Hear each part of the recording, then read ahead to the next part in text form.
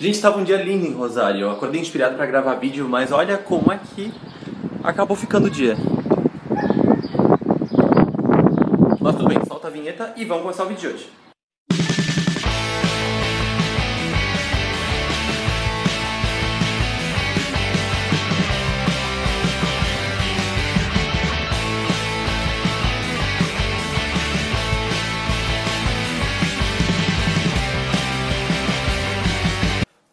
Buenas, tudo bem com vocês? Estamos de volta em Rosário e uma das coisas que eu notei nessas férias nos comentários aqui do canal é que muita gente me pergunta se eu tinha estudado espanhol no Brasil, se eu estudei espanhol aqui. E no vídeo de hoje eu vou comentar com vocês algumas regrinhas de espanhol para que vocês não sejam pegos de surpresa e não entendam o que as pessoas estejam falando e seja um pouquinho mais fácil para vocês irem aprendendo o idioma aqui na Argentina. Como vocês sabem, o espanhol que se ensina no Brasil, eu já comentei com alguns de vocês, nas escolas de idiomas se ensina um espanhol neutro. E aqui na Argentina, principalmente em Rosário, Rosário é uma das principais cidades que utiliza um sotaque, digamos, um dialeto chamado espanhol rio-platense. E a diferença do que se ensina nas escolas de idioma, na Argentina não se utiliza o usted, não se utiliza o tu, aqui se utiliza o vos. Algo bem interessante já com essa palavra é que em espanhol, o V e o B têm a pronúncia muito parecida, eles não conseguem diferenciar muito bem na fonética das duas. Então é muito normal você tá na rua e escutar a gente falando tipo bos, mas escreve com V, ok? Algo muito característico do espanhol rio-platense é que popularmente se diz que, principalmente em Rosário, se comem os S's. Um exemplo de uma frase relacionando essa questão de comer as S's é tipo: Olha, mi querido, que tal a pasarem em suas vacaciones? Se parar para escutar a frase de novo, muitas das palavras se comem as S's. São várias palavras que vocês vão notar que quando o S estiver tipo no final da sílaba, ele meio que perde um pouco da força, tá ali, mas tipo, né, dá aquela desaparecidinha. Algo bem importante de destacar também são o Y e o duplo L na sua pronunciação. Em que essas duas letras, ela tem uma pronúncia muito parecida com a do X com um pouquinho menos de força. Tipo, Yo me chamo William. ¿Vos como te?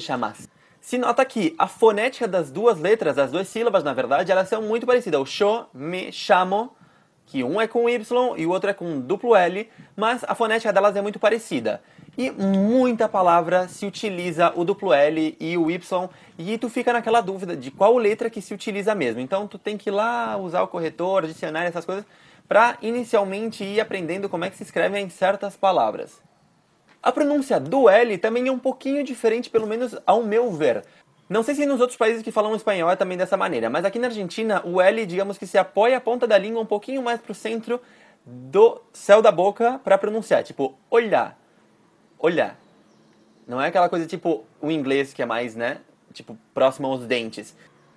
Não é algo que eles não vão te entender se tu for falar olha igual, tipo, como se fala no português, mas se você quiser dar uma aperfeiçoada, digamos, no seu idioma com o passar do tempo, é interessante ver essas regrinhas assim de pronunciação de letras. As letras J e a letra G, quando é seguida de E e de I, se pronuncia com o que pra gente seria os dois R's. Por exemplo, gente, roxa, rua, são tudo com aquele R bem puxado da garganta, que aqui se pronuncia com essas duas letras.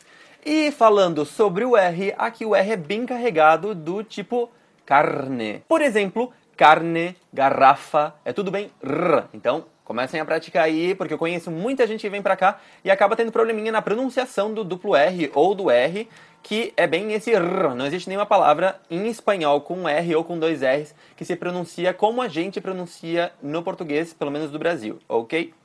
No espanhol não existe duplo S, não existe os dois S's, e a pronunciação de C seguido de I e de E, do S e do Z são iguais. O Z não é anasalado como pra gente, ok?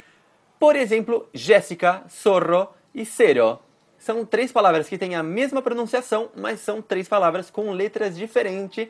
Bom, gente, deixa aqui embaixo nos comentários se vocês querem que eu faça um vídeo falando sobre as gírias daqui, que, que significa, comparando com palavras brasileiras, por exemplo, que não se podem falar aqui porque acaba sendo uma ofensa e tudo mais. Então deixe aqui nos comentários se vocês querem esse vídeo. O vídeo dessa semana foi curtinho, só para explicar algumas das regras gramaticais e de fonética que para mim são bastante importantes quando a gente está chegando aqui. Espero que vocês tenham gostado. Não se esqueçam também de deixar nos comentários sugestões para os próximos vídeos, de curtir, compartilhar com seus amigos, se inscrever no canal para não perder nenhuma novidade e a gente se vê na semana que vem, ok? Tchau, tchau. Até mais.